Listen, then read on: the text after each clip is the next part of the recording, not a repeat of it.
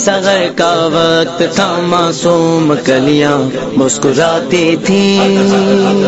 हवाएँ गैर मकदम के तराने गुनगुनाती थी। अभी जबरील उतरे भी नचे गावे के मिंबर से। कि इतने में सदाई अब्दुल्ला के घर से। मुबारक हो